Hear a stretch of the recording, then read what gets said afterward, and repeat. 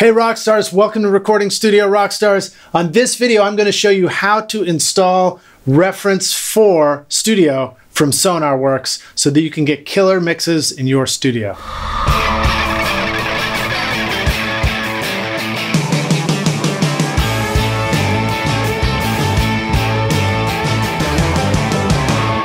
Awesome. If this is your first time here, please remember to subscribe below hit the like button and hit the notification bell so that you can get more videos from Recording Studio Rockstars. All right, if you saw my previous video, we did an unboxing of the SonarWorks XREF 20 microphone, and now we're going to install the software and get everything hooked up so that it works in Pro Tools, so that it works in my studio, and I'll show you just how we get to shoot out the speakers with the mic, and you're gonna see the whole process. So the first thing we're gonna do is we're gonna install Reference 4 Studio onto the Mac. I have a Mac Pro. This will install on a Windows computer as well. You need to download it from the website. And then when you do the install process, especially on Macintosh with my High Sierra, you have to go into System Preferences also and allow it to install the extension. All right, so here we are at the starting page for Reference 4.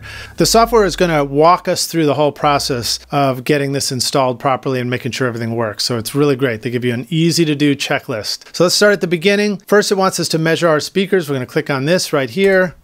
This is going to take us to the next page and it's going to give us a complete checklist for hardware setup, which is great. So they don't want us to miss anything. So they're going to make it easy for us to go through this process of getting it started. First thing we do is check phantom power. 48 volts is switched on and powering the measurement mic. So I'm going to click that because I've already done that here with my mic.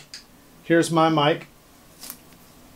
Here's my XREF 20 microphone. Okay, my mic pre is on. I've got phantom power going on the mic, no problem. Okay, so the next one here says to make sure your microphone input is not routed directly into your speaker outputs. All right, so basically with my system, I have a Pro Tools HDX system to go out the speakers, so I don't have to worry about that. But if you're using something like Universal Audio with the built-in um, UA mixer, or if, you know, the Apollo mixer, or if you're using uh, PreSonus or one of these other ones where you have a mixer that happens first, sometimes you can have the input signal routed directly to the headphones. In that case with this, you'd need to make sure that was turned off so you don't get a feedback loop. So we'll click that and we'll move on. And then it says a single audio interface is used for mic input and output to speakers. Okay, great. So I'm using the same audio interface. Audio interface sample rate is set to exactly 44.1 kilohertz. And I was able to do that, but in my case, if I'm going to use the HDX Pro Tools outputs, um, I have to go into the audio MIDI settings, select that as an output for the system output, and then I just select 44.1 kilohertz as the sample rate and make sure that that's set up properly. So just make sure that you've got 44. 1.1K. And then it reminds you here that it's going to take about 20 minutes to actually do this measurement process. Make sure you got enough time to complete it before you got to do something next. All right, so we'll hit the next button. Now this is really important. When they send you the SonarWorks XREF 20 measurement microphone, they actually send you one that's been calibrated at the factory. So they want to know the exact ID number of my microphone because they've already got a measurement profile on file over the internet that they're going to match my mic up with. So I went ahead and put in my mic number here. You can just find that right on the mic. Now you can use a different measurement microphone if you have a mic that's flat already, but you're going to get the most accurate measurement if you use the XREF mic, which comes straight from SonarWorks. Click the next button, and here it shows me what my mic looks like. I'm going to get a much flatter response because I'm using a mic that came from SonarWorks, this XREF 20. So let's click on to the next one. And at this point, you're going to need to select your input for the microphone and your outputs go into the speakers. And in my case, I'm using the Avid HDX. So I just selected channel one as an input and then channel one and two as outputs. There's the Avid HDX output channel one and two. Now, the next thing you can do is you can actually play a test track to make sure the audio is coming out of the speakers. Please adjust the volume of your output device. My voice should sound at normal conversation volume. All right, great. So it's telling me that that voice coming out of my speakers should sound about normal conversation volume. So I'm going to turn it up a little bit. Now you can hit the next button and move to the next page. All right, so this is where it starts to get real interesting. We're going to adjust the microphone input gain so that we can make sure we detect the microphone correctly during measurement. Click next. During the measurement process, we're going to hear chirping sounds from our speakers, and it says, don't worry, we use these sounds to locate the microphone in your room. So there's sounds that come out of each speaker, and that actually locates where the microphone is in the room. I'll play the signal so you can hear it.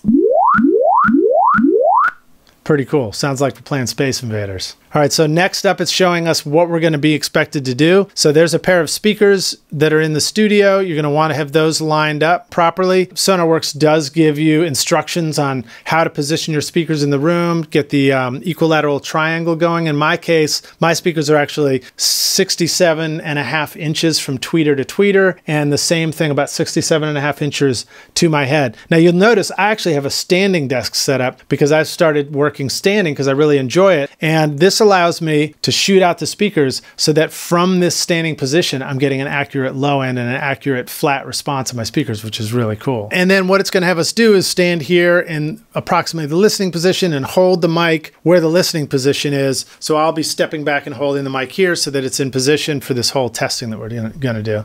Uh, it says to keep the microphone within the listening spot. So hold the microphone at the same level as your ears when you're sitting in the listening position. In my case, I'm actually not going to be sitting, I'm going to be standing. So my ear level is about here. So I'm going to do the mic up high, but it's a really amazing how well this works for whatever kind of mix position you want. All right, next up, it says keep the microphone at ear level. Great. Then it says aim it between the speakers. So between my speakers is right there. So I'm going to be always aiming the mic that direction. And then it says hold the mic away from your body. So don't don't be like this where your head is in the picture. Hold the mic out like this so that it's away from your body. I can't quite do it that far, but I'll probably be like this and you know hold my elbow to keep it steady. Okay, so next up we're going to adjust the mic input level and it's going to give us a test to make sure that everything's working just right for that. I've already adjusted my levels to be right because it's hard for me to step back from the camera to do this, but you'll see how when the levels are set just right, if you adjust your gain, then it's going to hit the sweet spot and start working.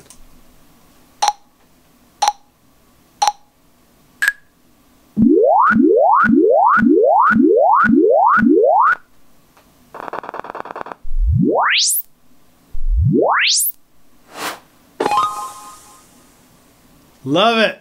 All right, so hit the done button.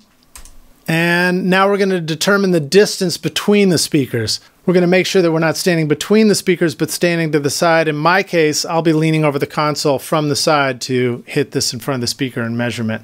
All right, we're going to start with the left speaker, and it says to position the microphone, you know, 0.4 to 0.8 inches away from the center of the mid-range driver, which is basically, you know, less than an inch, so pretty close. And then um, I guess I'm going to go hold it and hit start measuring all at the same time. A little bit tricky. I'm going to do this real quick.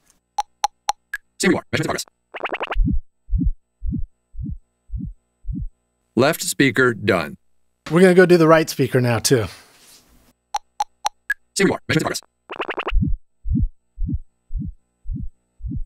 Right speaker done.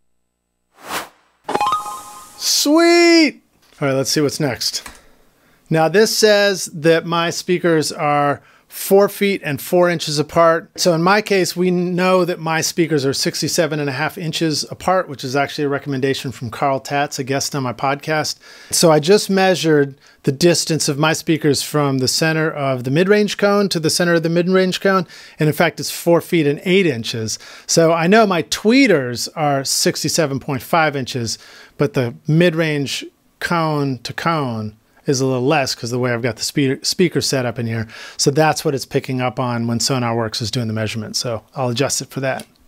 Okay, so it started out at four feet, four inches, and I'm gonna bring it up to four feet, eight inches, and we'll call it looks good from there. All right, so next thing it wants to do is locate the listening spot.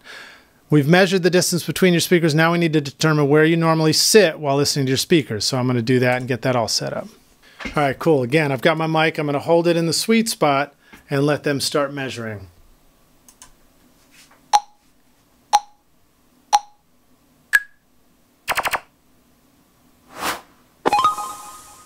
Cool. So that one's done. So let's move on to the next. It says to review the setup dimensions. So basically, it's saying that it's four feet, eight inches from woofer to woofer, and then it's about five feet, four inches to where this spot is. But noticed it picked them up as being equidistant on either side. So that's great. And it also confirms that my listening position is centered. So it knows that I've done a good job setting it up here. All right, cool. Listening area measurements. During this step, they're going to measure the listening area. This is where it gets real interesting. It's a long process. We're going to speed it up, but you're going to see me kind of doing the dance with the microphone as we move around the room looking for all these different measurement spots. Some of the stuff it's reminding us about, it says to keep the mic within the listening spot. It's going to play a signal here that is a locating signal that is going to allow us to put the mic within the circle that locates it. When it's located, then it's going to play the test signal, which is the thing that sounds like Space Invaders. Here's the locating signal. Again, sounds like we're getting attacked by space invaders. And then here's the test signal, which basically just goes from very low frequency up to high frequency. And it's sending all that to the mic and it's going to be able to measure that and see what the response is at that position. So we'll jump to the next thing and we're going to start clicking through and doing this measurement. So here we go. All right, so one of the things I'm doing is I'm putting on these earmuffs because it's about to get real loud for like 20 minutes in the studio. So I suggest you put in earplugs before you do this test because your speakers may need to be up loud enough to be pretty loud with this uh, low frequency to high frequency stuff. So we'll jump in here and we'll get this thing rolling.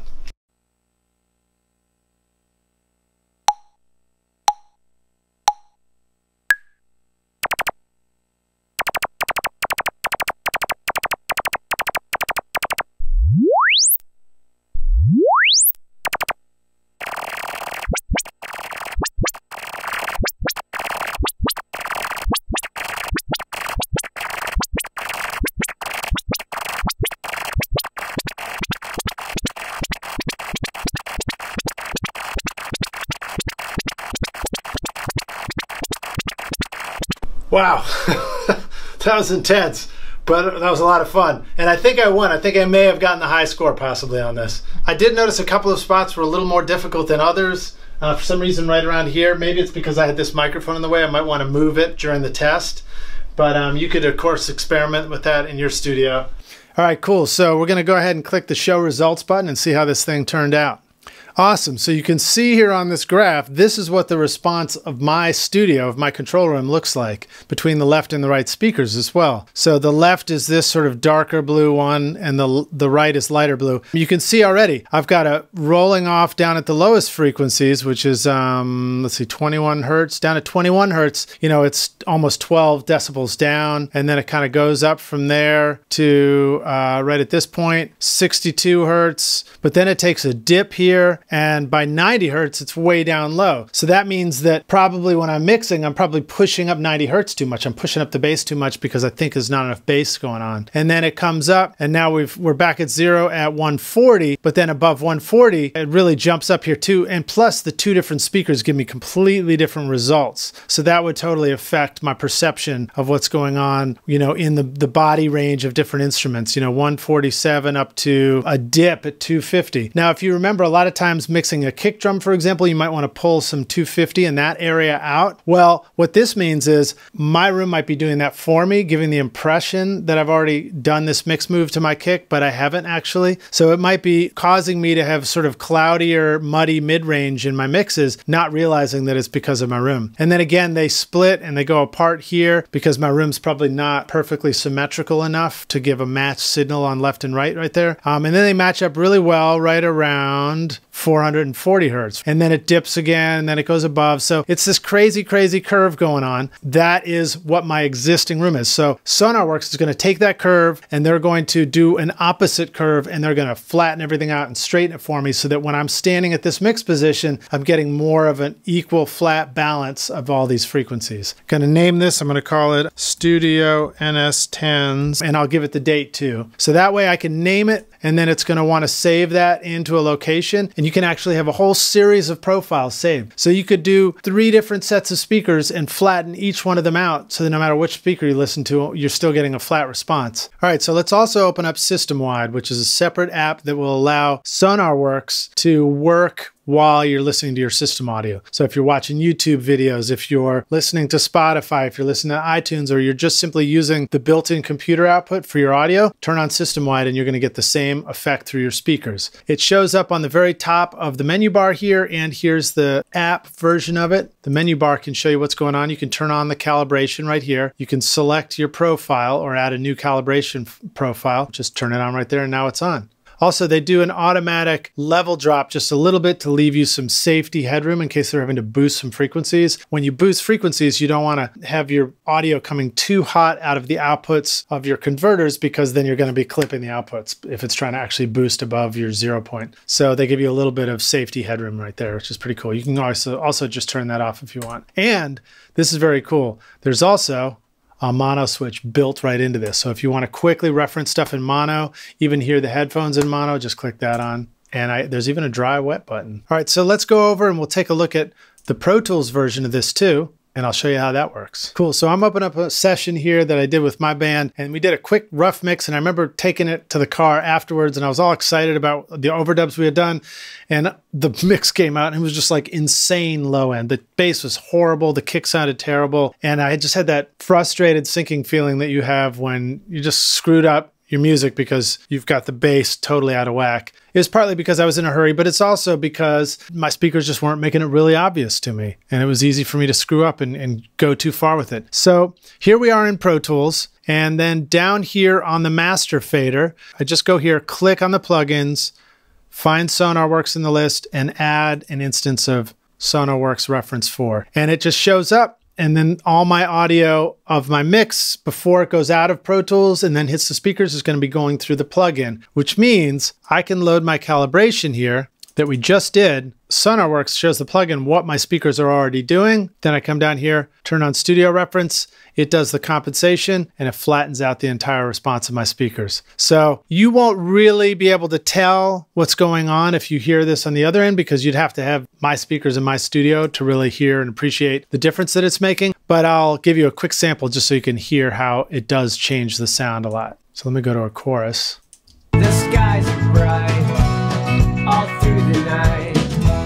Where the stars are. All right, so that's the mix with too much low end before I add the EQ curve.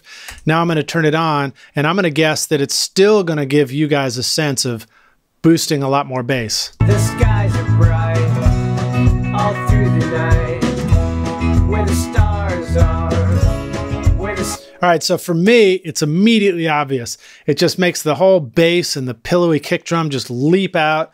And that was the thing that I really had issue with in the car later on. So for me, hearing it like this in the studio, I would immediately pick up on that and I'd make adjustments to those different instruments and make sure my mix sounded a whole lot better than it did. So pretty exciting stuff. I'm super thrilled to be mixing through it now. Can't wait to start getting my mixes right. Stay tuned and I'll start reporting back too about just how much happier I am with my mixes after I start mixing through SonarWorks. You can get this plugin and install it on whatever DAW you're working on. So no matter what you're using to make music, whether you use the studio version for your speakers or whether you just use the headphone version if you're mixing in headphones and you're going to be able to start getting your mixes right so that when your first mix goes out the door, it's right the first time. You don't have to come back and do 10 more tweaks and revisions just trying to get the low end right. And that's going to help all of us make better records. Hey, thanks so much for watching this video. I hope you got a lot out of it. I know that for me, it was a pretty amazing experience to hear Reference 4 on my speakers here in the studio and hear just how different that sound was. I immediately heard mixes where I would have completely done a different move on the bass and the kick drum and gotten the mix right the first time. If you want to learn more about Reference 4, go to sonarworks.com. The link is included right below. Please remember to subscribe, hit the like button, and drop a comment in below and let us know what are some of the things you struggle with with your sound and mixes in your studio. Do you find that low end is a challenge or is it a breeze for you already? If you want to try out Reference 4 in your studio,